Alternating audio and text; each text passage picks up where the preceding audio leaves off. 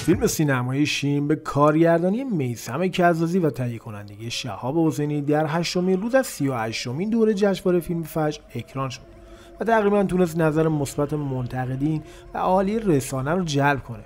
این در حالیه که شهاب حسینی در این دوره از جشنواره فیلم فجر با دو فیلم آن شب و شین که هر دو در ژانر وحشت ساخته شدن در مقام های بازیگر و تهیه کننده حضور داشته باشند شین روایتگر زندگی زنی جوان با هنرمندی غزاله نظر که از پدر سالمندش یعنی جمشید هاشم‌پور در یک عمارت قدیمی مراقبت می‌کنه.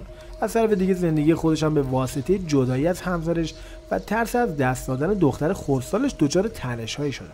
خب قبل از اینکه به ادامه ماجرا بریم. لطفا subscribe کن و اون زنگوله کنارش هم بزن و با کامنت منو خوشحال کن.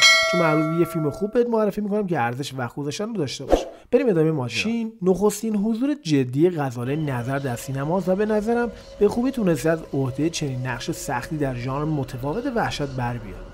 فیلم شین فیلمی در ژانر وحشت و پیرامون اشتباهاتی که افراد در گذشته مرتکب شدن جمشید هاشمبور بازیگر پیشکسوت و قدیمی سینما ایران در این فیلم دائما روی یک ویلچر حضور داره و بدون بیان هیچ دیالوگی به ایفای نقش حسی و در واقع زیرپوستی پرداخته و با تمام این اوصاف نقش مهمی رو در جلو بردن داستان فیلم داره.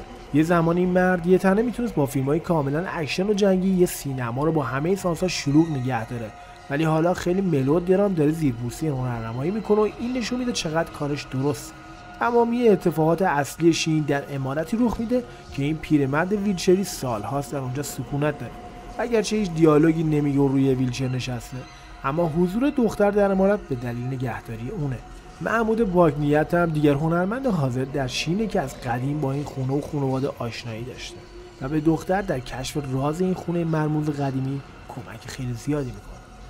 علی شادمان این بازیگر جوان و یهو شکفته شده که با یاقی کاملا اسم سر زبون افتاده هم نقش کوتاه و متفاوت رو در فیلم ایفا کرده و کارگردان سعی کرده با حضور کوتاه ولی موثر چند بازیگر به بهترین نفت داستان رو روایت کنه. شهاب حسینی هم که به عنوان تهیه کننده در این فیلم حضور داره در یک سکانس کوتاه اما حساس به ایفای نقش پرداخته. تا حضورش در فیلم بر جذابیت و زیبایی اون اضافه کنه. در واقع ژانر اصلی این فیلم وحشت نیست و کارگران تلاش کرده با روایت یک داستان معمایی اجتماعی با درون مایه وحشت فیلمی ترسناک و گیشه پسند رو بسازه. شین با داشتن یک تیم حرفه‌ای و داستان جذاب می‌تونه در گیشه موفق عمل کنه و مخاطبان رو به سینما بکشونه و باید منتظر مون و دید آیا این اتفاق رخ میده یا شین هم در ادامه روند شکست خوردن فیلم های ترسناک در سینما ایران شکست می‌خوره.